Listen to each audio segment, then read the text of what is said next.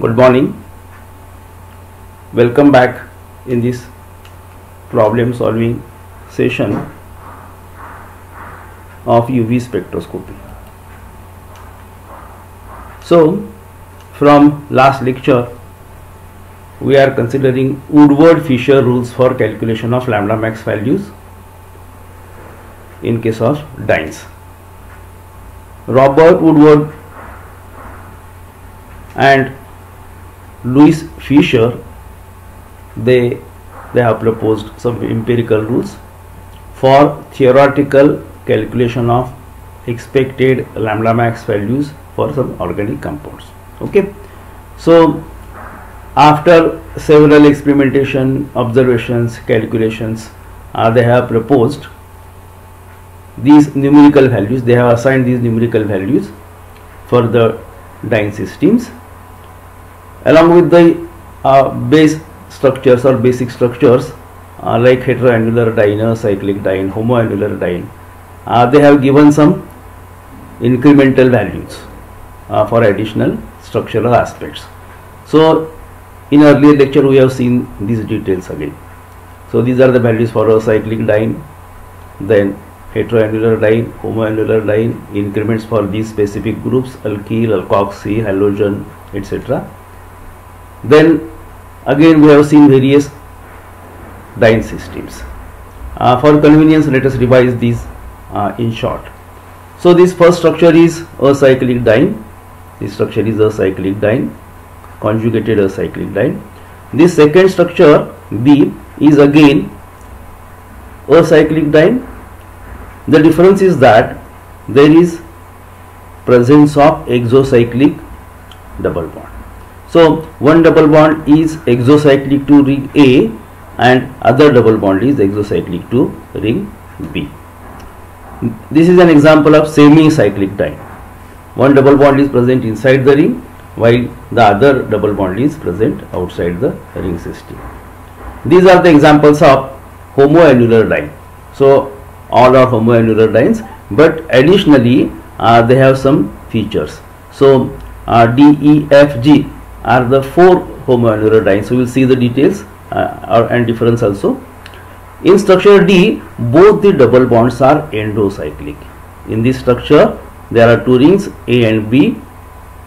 So both the double bonds are present inside ring A. So it is endocyclic structure. It doesn't have any exocyclic bond. In next structure, uh, again there are two rings A and B, but double bond represented by B this B is exocyclic to ring B. Because it has a co common carbon with ring and other car car other carbon is away from the ring. Uh, so it is exocyclic to ring P in case of structure F both the double bonds are endocyclic. Both are endocyclic uh, in A but additionally they are exocyclic to ring B because ring B has this extension to one side and this another extension to another side. So there are two double two exocyclic double bonds to ring B. So while calculating theoretical values, lambda max values, you have to consider the structural differentiation and aspects.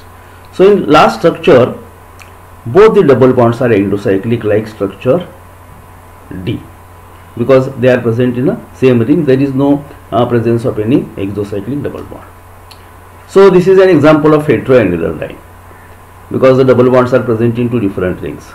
In structure H, the double bond A is exocyclic to B. So this ring is ring B is there, the double bond is exocyclic and in next structure which is a tricyclic structure, it has rings A, B and C. The double bond represented by B is exocyclic to ring A at the same time it is exocyclic to ring B. So you have to consider uh, these values while calculating the lambda max. So these are some more examples uh, we have seen in earlier lecture also. Uh, please uh, write down these structures and try to explain their structural aspects for cal calculating lambda max values. So uh, these we have seen in earlier lecture. Now coming to some more problems. Uh, in this structure the base value for homoannular diene is 253 because the diene system is homoannular. There are two rings A and B. Ring A has the pair of double bonds, so it is homoannular. There are three ring residues. The ring residues are represented by A, then there is a B and C. So three ring residues. Ring residues are the extensions to those carbon which are involved in the conjugation. Okay? So three ring residues uh, make it 15 nanometers. Base value is 253 nanometers. Now the bond indicated at this position is exocyclic to ring B. So one exocyclic double bond to ring B uh, so increment is of 5 nanometers so the lambda max value will be 273 so this is the lambda max for this particular structure. Now let us continue uh, with the second next problem. Again this is similar type of structure. Two rings are there. The base value for homoannular is 253 so whenever uh, such system is there homoannular is to be considered for calculation. So 253 then there are three ring residues. Three ring residues indicated by a b and c. Uh, then there is extended conjugation. Conjugation is extended uh, because uh, there are three double bonds and these are conjugated. Whenever we consider hetero homoannular diene you have to consider the additional uh, conjugation as extended conjugation and one exocyclic double bond to ring B one exocyclic double bond to ring B this is ring B this is double bond ex exocyclic and uh, three ring residues represented by A, B and C. Let us revise once again. Base value for homoannular diene is 253. Uh, this homoannular diene system is to be considered. Then uh, three ring residues in overall conjugated system extend with uh, extension also. So three ring residues 15, extended conjugation 30, one exocyclic double bond to ring B that is 5 so the total comes to be 303 nanometers.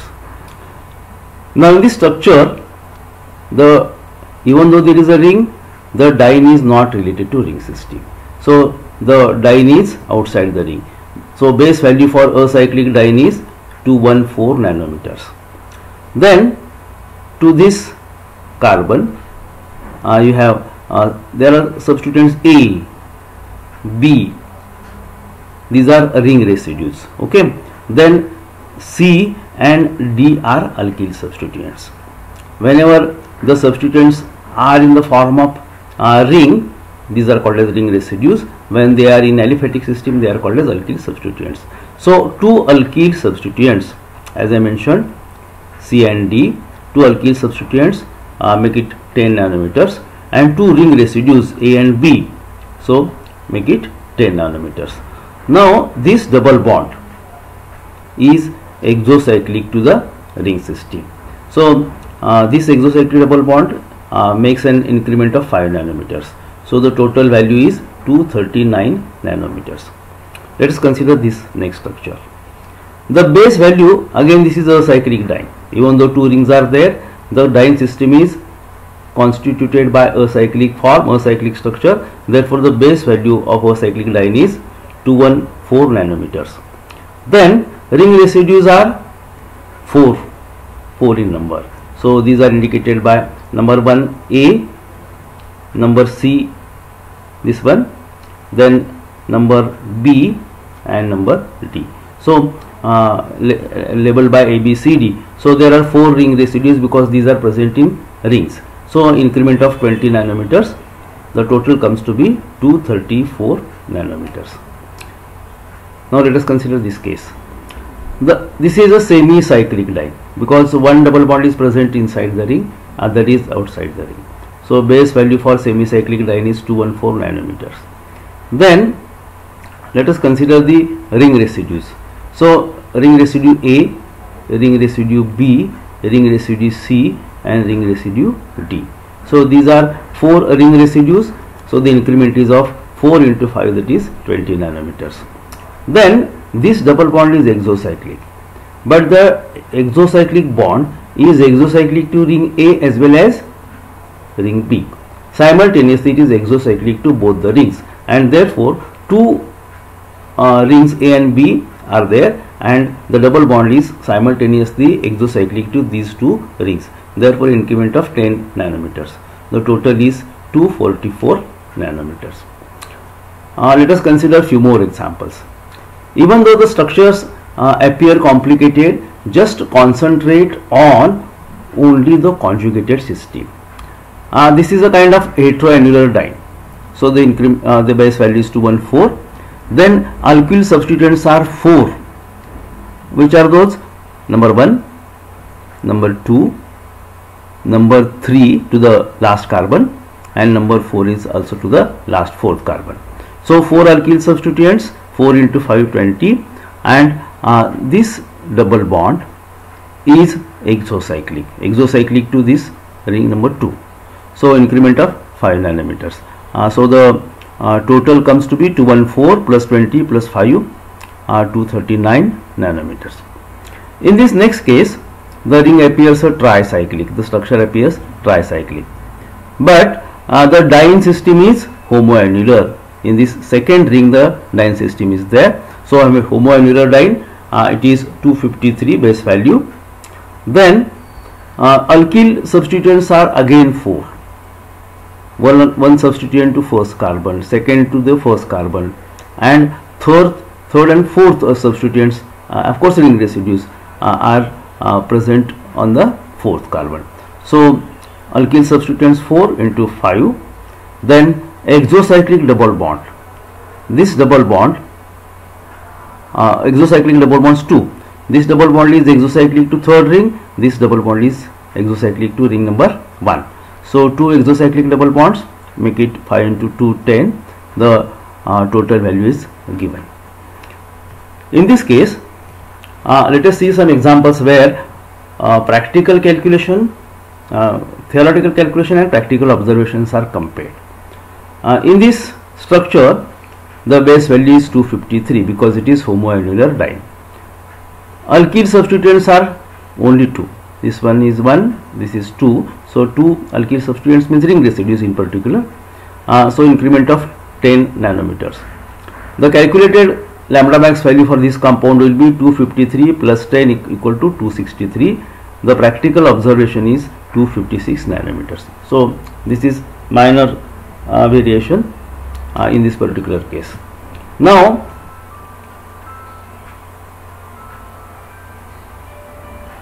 uh, in this last case uh, you have tricyclic ring.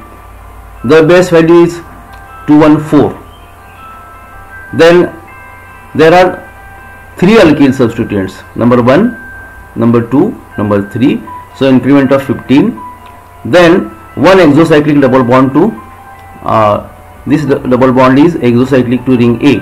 Therefore total value is 234 and practical observation is 235 nanometers. So this is one more example.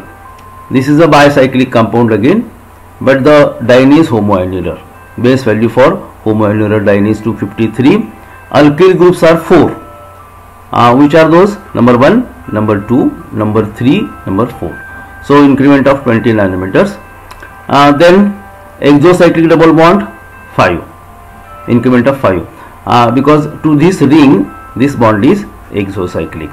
The calculated value is 278 nanometers the practical value is 275 nanometers. Uh, let us consider this example. Uh, this is a tetracyclic ring but the base value is 214 nanometers. Alkyl substituents 5 let us consider this one. Number 1 number 2 then number 3 number 4 number 5 so 5 alkyl substituents are there. Uh, make it uh,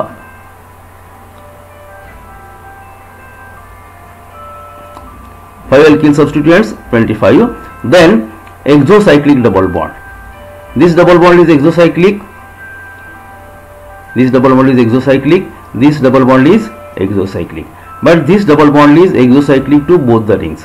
And therefore three exocyclic double bonds 3 into uh, 5 increment of 15 and uh, a double bond in conjugation.